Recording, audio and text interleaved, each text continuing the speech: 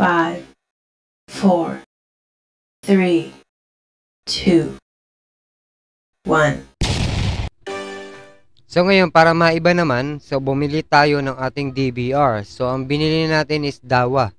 So ito yung gagamitin natin para sa CCTV natin sa ating shop or sa bahay natin para sa ating proteksyon.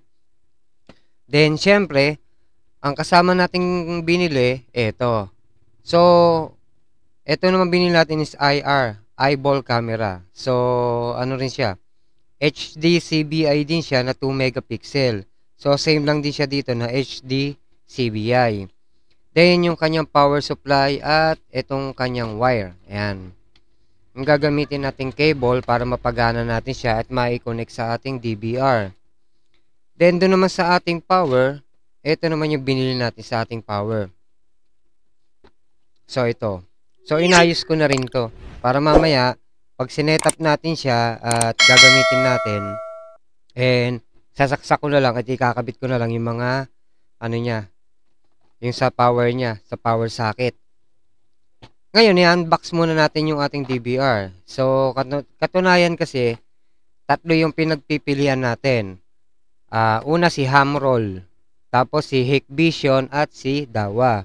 Pero sa tatlong napili ko, ang may pinakamura na mabibili mong DVR at ang pinakamura na mabibili mo o mas maraming mura na mabibili na mga CCTV camera katulad nito is kay Dawa.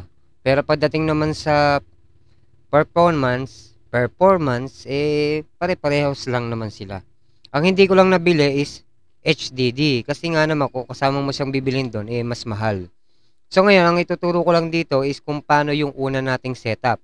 So, kung kayo is first timer pa lang sa pagkakaroon nito, so, ito, ituturo ko sa inyo kung paano yung tamang setup ng ating DVR at ng ating cam. So, para pag na-setup mo na siya, sa umpisa, so pwede ka nang magkabit, kung kulang man, kabit ka na lang ng kabit at nakasetup na. So yun po yung gagawin natin ngayon. So una yan, box natin siya. Para makita nyo, kung pag bumili kayo nitong dawa, so nandyan din po yung ating link sa ating description box. Kung saan ko siya binili, at kung ano yung mga kasama. So dito sa kabilang side, so nakaseparate siya sa kahon. So ito yung kanyang mouse. So maliit lang yung mouse niya. Halos mapipiga ko pa ata to, sobrang liit. Libre naman yan. So, wala namang problema dyan. Then, lagay ko muna siya dyan. So, meron tayong mouse. Then, meron tayong SATA cable sa data. So, at ito, meron tayong screw. At itong screw natin is para ata sa hard drive o sa HDD niya ikakabit. Then, manual. Lagay natin dyan. At meron pa akong nakikita rito. So, ito yung kanyang power SATA. Then, yung kanyang 4-pin dun sa board sa kanyang 4-pin ano, socket. Then, ito. Yung huling-huli. So, ayan. Nakuha ko na isang buong kahon. Yan. So, ito naman yung kanyang power supply. So, ang kanyang power supply is 2 ampere na 12 volts.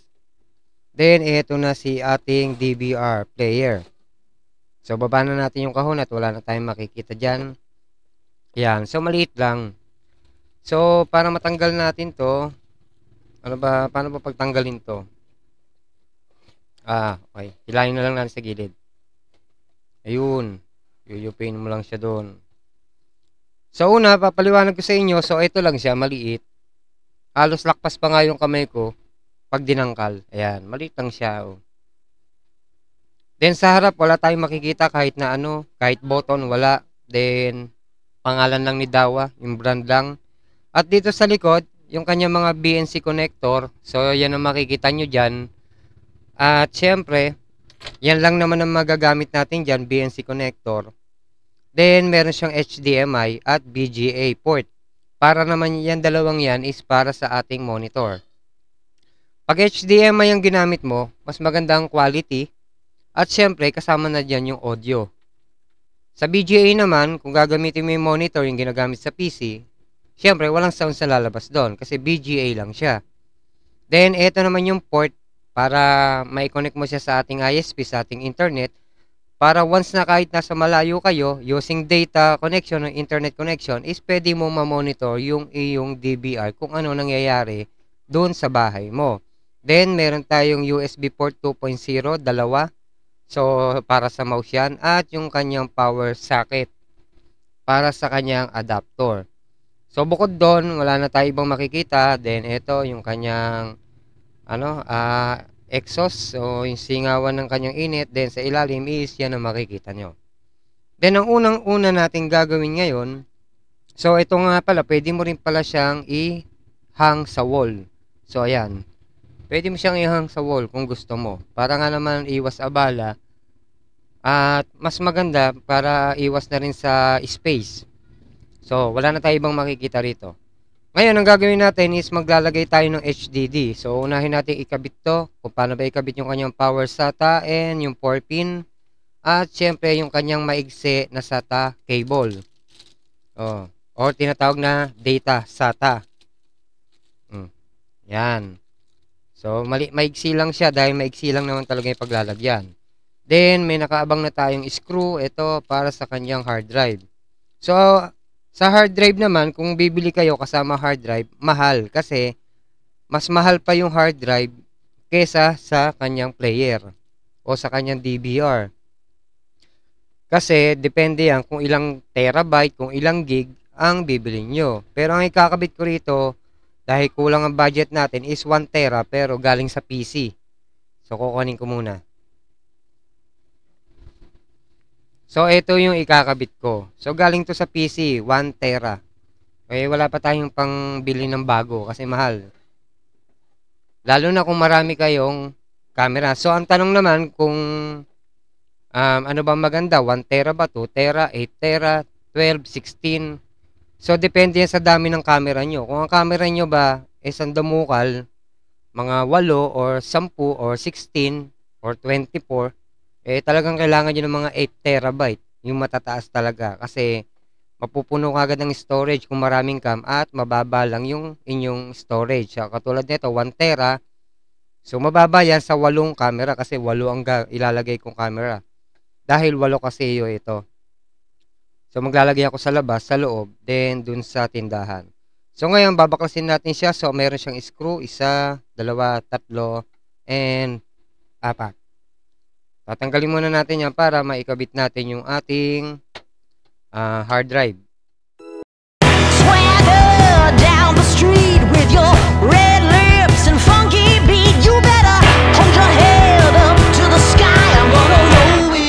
The day I die.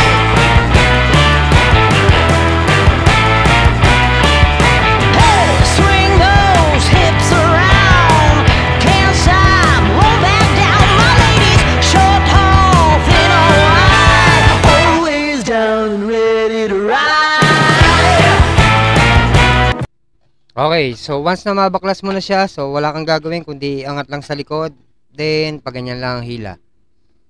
So makikita nyo, ito lang yung kanyang board. So napakaliit. Ayan. So ito yung lagayan ng ating SATA cable para yan dito at dun sa hard drive at yung power SATA naman na may 4 pin is dito naman. So wala na may ibang salpakan dyan kundi yun lang. Then wala ka na makikitang iba. So sa pagkakabit naman ng ating hard drive, dapat ito is naka-paste dito sa inyong kaliwa dahil nandito po malapit yung kanyang mga sakit. So dapat dyan siya. So ilalapag ko lang siya dito. Then syempre eh meron siyang screw hole dito. Ayan. So apat yan. Itatapat nyo lang yung kanyang ano rito.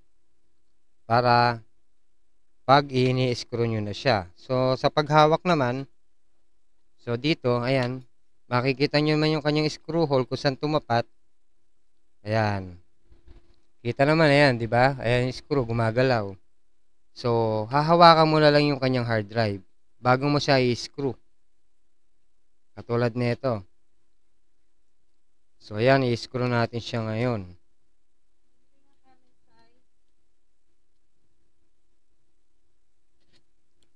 Yan, screwin natin lahat then yung kabila. So, lagyan mo na kagad yung dalawa para hindi na siya kagad gumagalaw. Ito.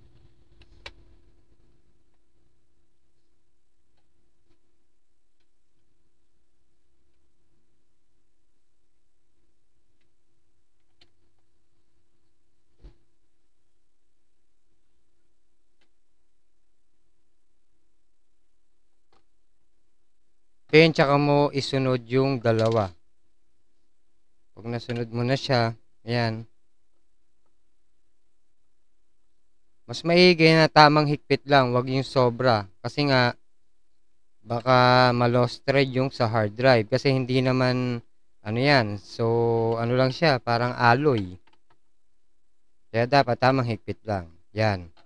Since makakabit mo na siya ng ganyan, so ayan na. Yung ating hard drive, nakakabit na. So, nandyan na yung socket.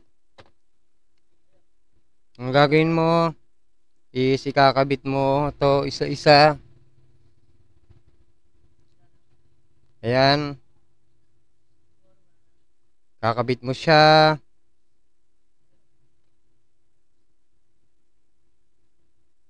Ito muna, unahin ko. Yan. Then next naman ang kanyang data SATA o yung kanyang SATA cable.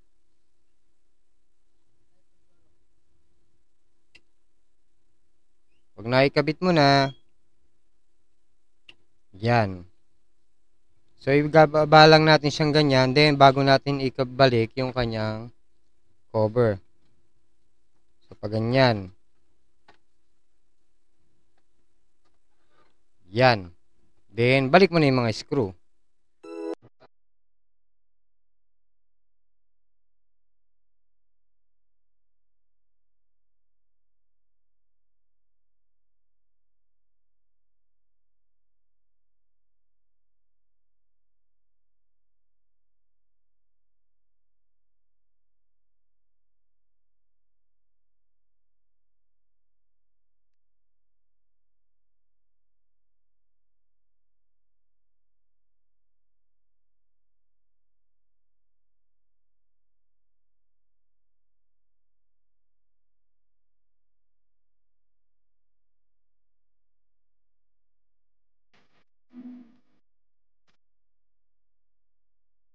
Okay. So, ayan. Okay na siya ngayon. Then, ang gagawin natin is um, tetestingin naman natin siya. So, ihanda natin lahat ng mga gamit niya.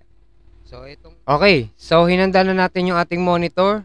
Then, ang monitor natin is wala pong HDMI. So, kinabit ko lang siya dito sa BGA. So, BGA po ang gamit natin ngayon. Kapag BGA kasi is 720p. Pero kung HDMI ang gagamitin mo, mas maganda quality Then, naka 1080p. So, ngayon, kakabit ko na muna yung kanyang adapter. Ang layo kasi na extension. So, ayan na yung ating DVR. Then, hintay na lang natin siyang mag mag-boot up. Okay. So, katulad niyan, BGA ang gamit natin. So, naka 720p lang tayo. So, ayan yung makikita nyo. Then, unang-una, ang makikita nyo sa kanya is region. So, syempre, ang region natin, syempre, Philippines tayo. So, i-type mo yung Philippines. So, step, step lang natin to gagawin. So, ayan. Philippines. Then, English, NT, C, ano, SE. So, dapat dyan po. Then, Kuala Lumpur, Singapore. Dahil yan po yung same ng time natin dito. Kahit naman sa PC, then sa Wi-Fi voucher ko, yan din ang ginagamit ko. Then, next naman, so dito, wala na tayong gagawin dyan. Then, next natin. So, ngayon, uh, magre-restart magre siya ulit o magre-reboot para ma-save yung kanyang file. Then, hintayin natin siya ulit magbukas.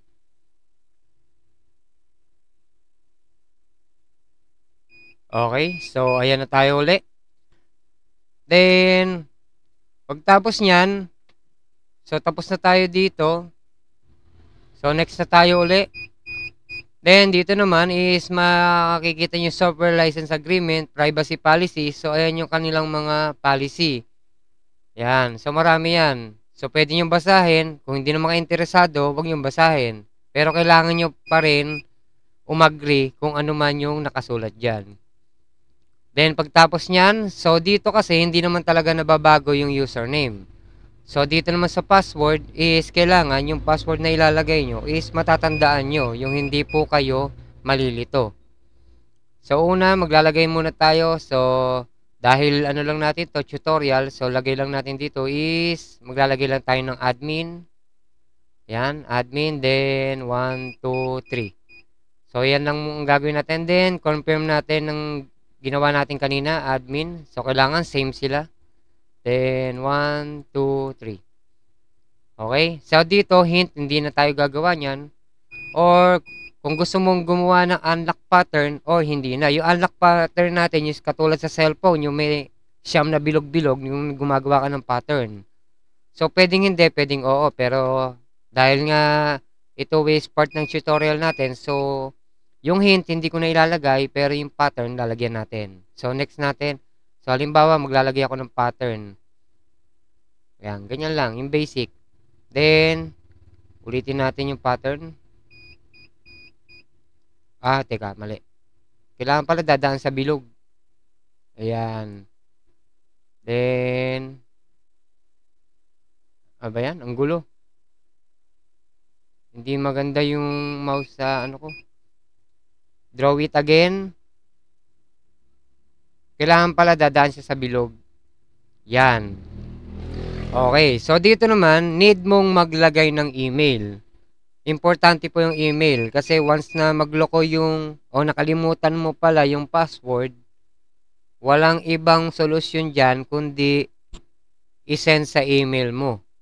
So, need mong maglagay ng email. So, sa akin, ilalagay ko yung aking email para sigurado kung magkaroon man to ng problema is sa email ko pupunta kung ano yung dapat mangyari at need ko bang baguhin. So, nakalagay ito, Cyrus Medina at gmail, ayan, gmail.com.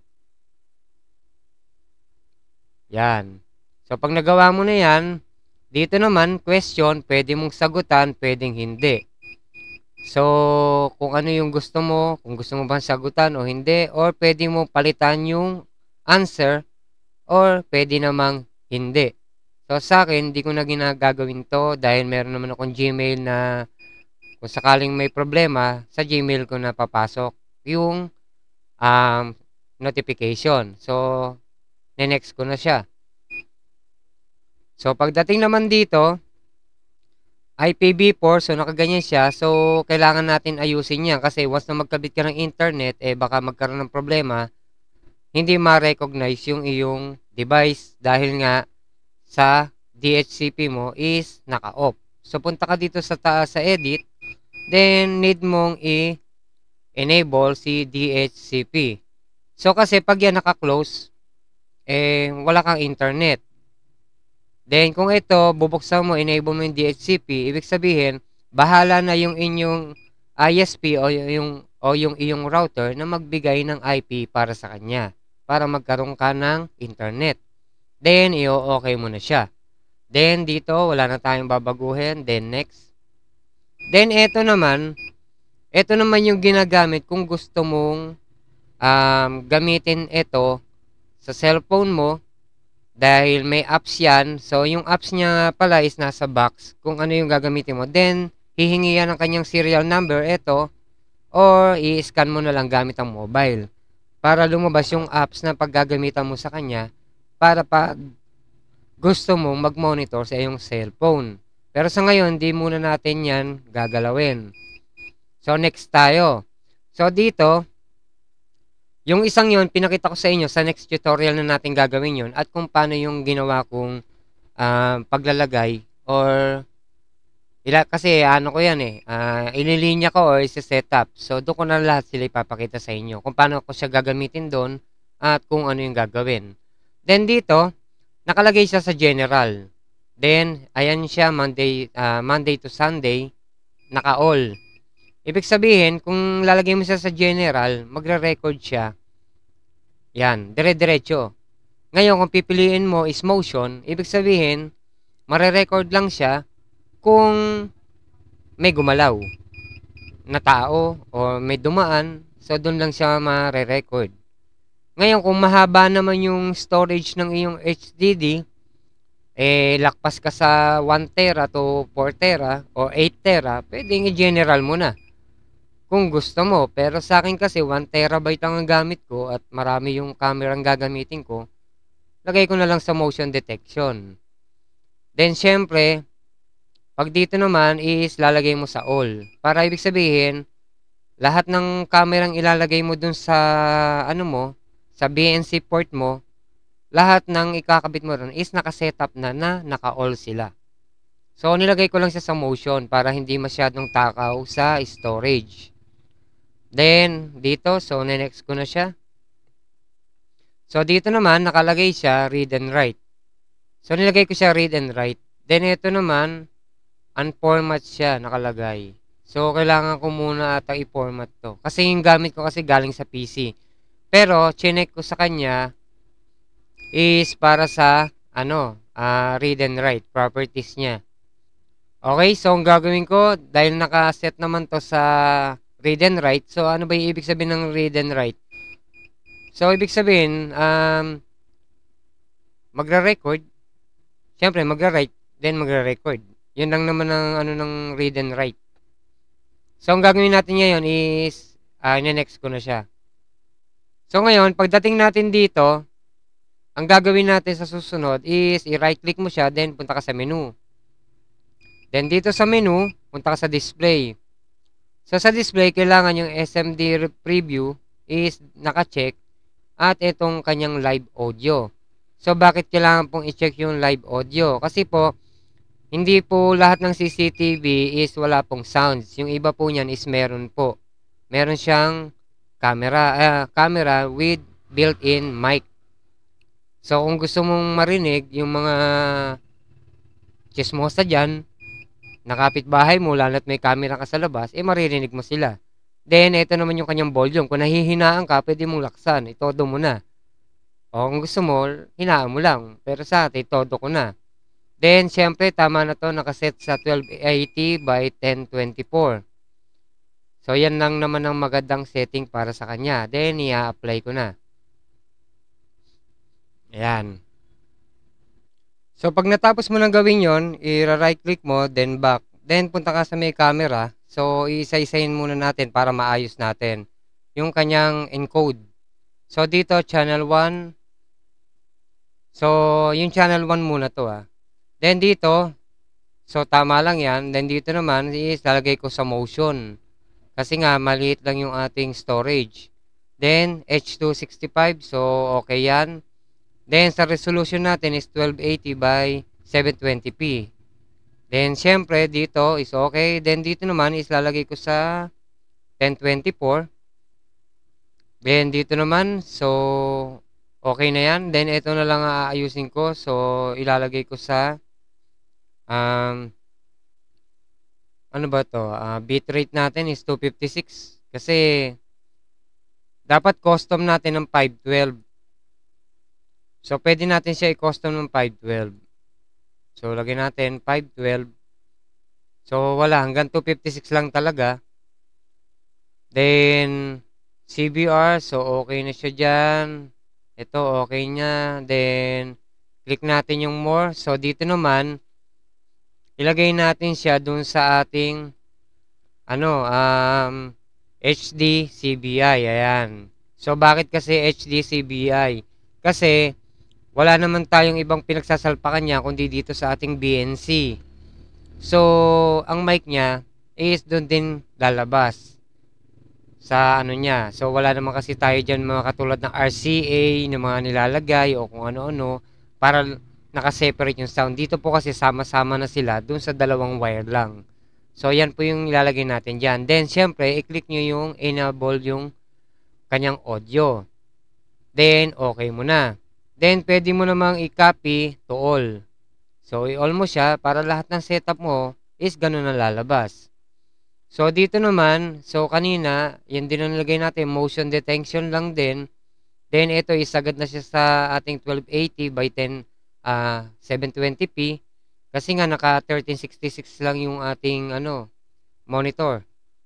Pag 1080p na tayo, so pwede na natin siyang ilipat dito sa kanyang 960 by 1080 na 10, uh, 1080M. Eh kaso naka 1366 lang yung monitor kaya dito muna tayo sa 720p. Then, ayan, so yung frame rate is 30 FPS. Then, 1024. Then, so dito, need din nating i-click na ibuksan yung audio. Then, yan. So, ito, okay na siya dyan. Then, okay. Then, copy. Yan. So, ibig sabihin, kahit dalawa pa lang yung camera mo o tatlo, at maglalagay ka uli ng bago, so, ibig sabihin, lahat ng port na yan is nakasetup na ng iisang setup na ginawa natin ngayon. Then, okay na tayo dito. So, overlay. Okay lang dyan. PTC. So, yung PTC naman, yan yung mga camera natin na gumagalaw. Yung may 360 or 180 degree, yung mga gumagalaw, yung, ito yung mga control niya, so wala kasi tayo niyan, kaya wala muna tayong gagalawin dyan. Then, dito sa channel type, so wala na. Then dito, so wala na rin. So, kiklik natin, right click ulit para bumalik. So, ang gagawin natin ngayon is magte-testing tayo ng ating camera. So, mapapansin nyo, so ilan sila? Walo. Kasi walo lang naman. Ito, wala talaga to. Kasi pang siyam to. So, walo lang talagang pwedeng lagyan ng camera. So, mapapansin nyo, lahat sila is may kulay green na. Ibig sabihin yan, lahat sila is nagre-record na. Kaya siya may green na icon na ganyan, yung mga camera na kulay green. Ang kulang na lang is yung ating camera. So ngayon ang gagawin natin is papakita ko sa inyo yung ating camera. Then magsasalpak tayo ng ating mga ano CCTV. Ito nga pala yung mga camera niya. Yan. Buksan muna natin isa-isa. Pag bumili ka nito, ito kasi pinakamura. So, wala naman akong choice kasi nga low budget tayo. Kung ako lang eh maraming pambili, bibiling ko na yung mga IP camera na. Kesa sa mga ganito kasi mas magandang gumamit no. So, ayan ang makikita nyo sa akin niya, yan. Then, syempre, lagay ko yan dyan. At buksan pa natin yung isa. So, dalawa pa lang ang binili ko. Kulang pa ng anim. So, lagay muna natin lahat ng mga gamit niya dyan. Magul maliit lang kasi yung lamesa natin eh, kaya mahirap mag-setup. Eh, hindi ko pa nga alam kung buo to, mga to, kasi ka-order ko lang din. Ayan. Mga cute din silang tignan eh, oh. liliit.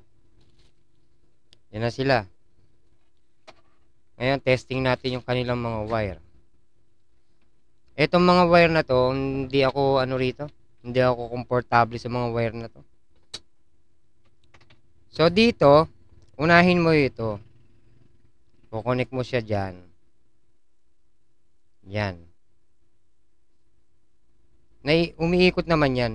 Yung LAN, nakalak na. Then, sunod mo to. Sa power. Pag nakonek mo na yan, ito yung dulo. Yan. So, kukonek ko yung isa neto So, kahit saan na lang dito sa channel dito, dahil lalabas naman yan dyan, then yung power niya is dito manggagaling sa box na to. Ito, kukunik ko siya dyan. Para malaman natin kung magpa-power na siya. Then yung isa naman, so ayun, kita nyo.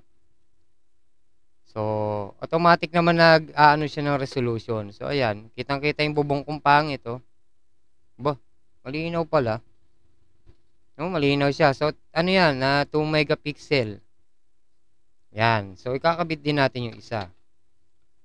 Ito, uh, paalala ko lang, itong mga cable na ginagamit ko to, hindi ito maganda para sa akin. Para sa akin, substandard to. 5 meters lang to, kaya ito pinili ko.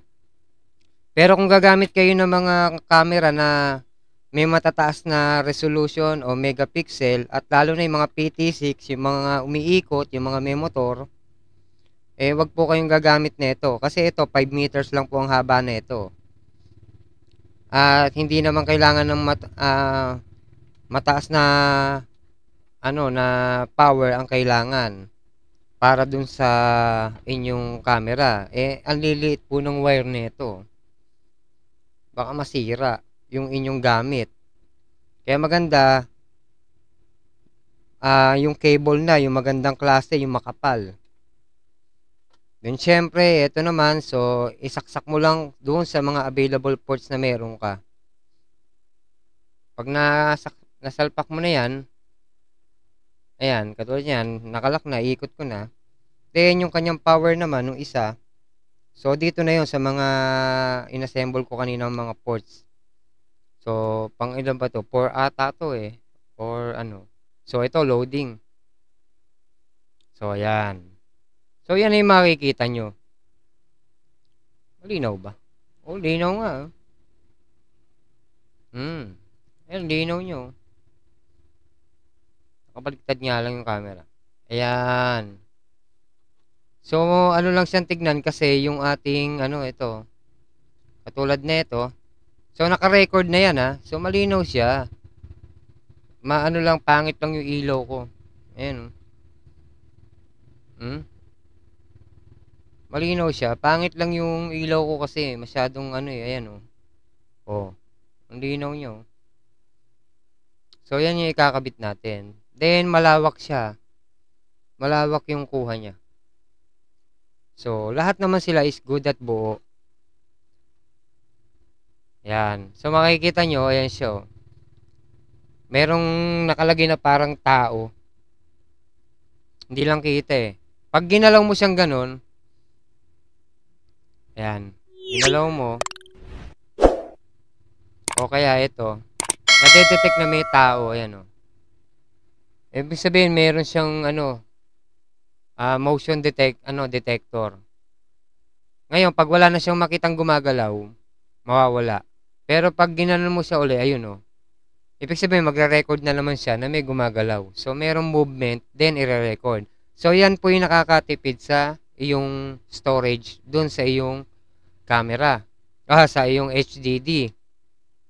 Ayan, katulad niya, bukas ng ilaw, nadedetect niya kahit yung ano ng liwanag. Ayan, oh. So, pag ginanon mo siya, oh, oh ayan, nadedetect. So, ibig sabihin, nagre-record siya kapag may na-detect niyang may ano. Yun po yung ginawa ko. Pero kung general naman, ang ginawa nyo, uh, magre-record yun, may, may gumalaw man o hindi, continuous ang recording niya. So, dun po kagad mabilis mapuno. So, sa ngayon, hanggang dito na lang po muna. Then, sa susunod naman na ano natin, is, um, papakita ko sa inyo yung paano ko siya winiringan o sinetap. Then, kung ano pa yung ibang kailangan yung gawin o malaman, lalo na yung doon sa kanyang power supply, para meron kayong idea. So, sa ngayon, yan po muna at medyo mahaba-haba na yung video natin. So, hintayin nyo lang po yung susunod. 1.